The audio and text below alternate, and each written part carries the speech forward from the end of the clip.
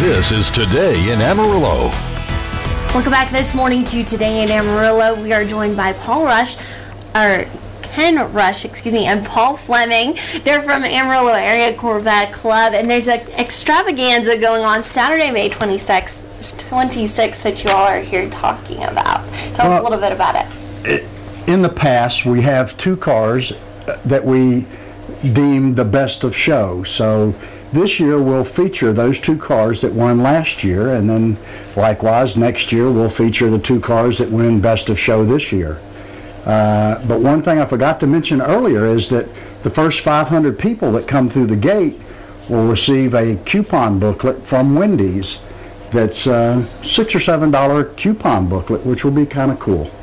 Uh, so the show goes on, rain or shine. We just want everybody to come out. It's a dollar a- mission, so you can't hardly beat that. Uh, That's true. to see a car show indoors and out. Uh, O'Reilly's is bringing their motor van down from Springfield, Missouri, so that will be a, a, a nice display, and um, it's just a fun day. So Cool. For Come peop- out. I was gonna say for people that want to come out, where's it gonna be at? at Vintage Auto House on the Boulevard. Very cool. So it's just a, a, a great day.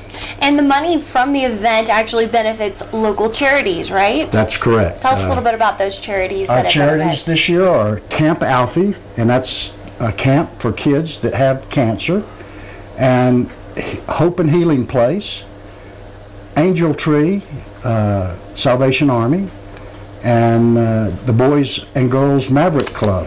So these are things that we that we hold dear to our hearts, and we this is our biggest fundraiser. So please come out and help us support the kids. And Paul, can you tell us some of the, the vehicles that are going to be there? It's not just going to be Corvettes, Oh, right? no, no, absolutely not. Uh, and we do, would like to mention that is Amarillo Boulevard West, 8201 Amarillo Boulevard West.